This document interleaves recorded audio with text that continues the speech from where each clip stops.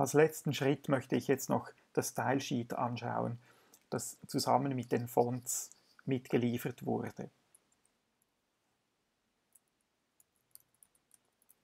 Im Ordner, wo die Fonts liegen, gibt es ein Style Sheet.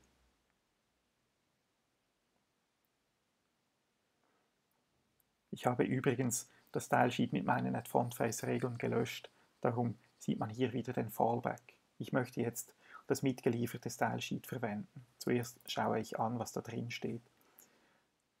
Ich habe vorhin schon reingeschaut und gesehen, dass es einen Fehler gibt.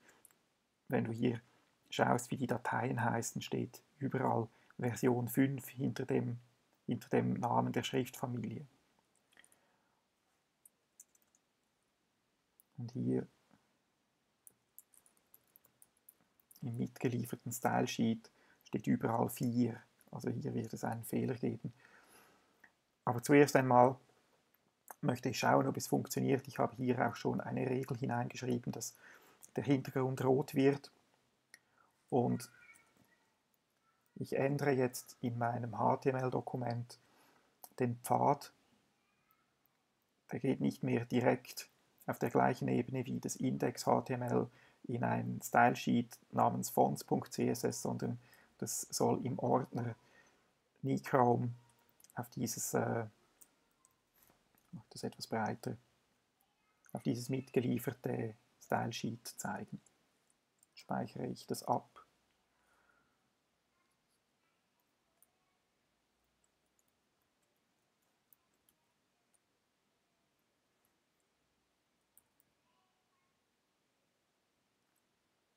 Und ich sehe hier, dass dieser orange-rote Hintergrund ähm, interpretiert wird, also der Link funktioniert.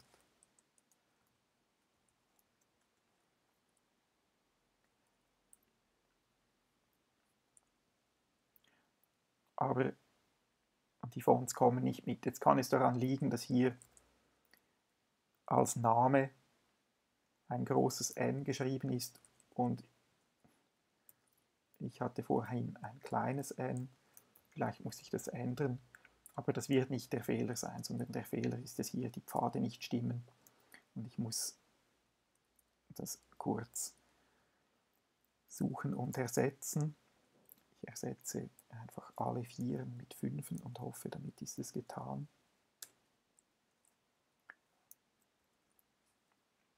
Jetzt funktioniert es wieder.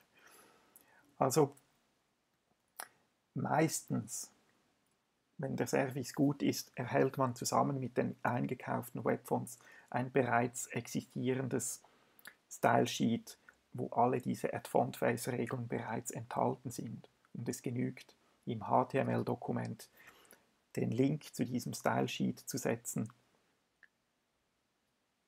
und alles ist bereit. Ich habe hier Add-Font-Face-Regeln, wo der Name der Familie bereits steht. Also das muss man dann allenfalls nachschauen. Und jedes, jeder Font zu jedem Gewicht wird mit dem richtigen Gewicht verknüpft. Auch das muss ich nachschauen, um zu wissen, welche Gewichte es gibt. Und dann kann ich damit beginnen, hier ähm, das Dokument zu formatieren, indem ich mit diesen Informationen äh, die richtigen Angaben mache. Wenn ich zum Beispiel das Gewicht 100 verwenden möchte. Jetzt habe ich auch noch Haarlinienschnitte zur Verfügung.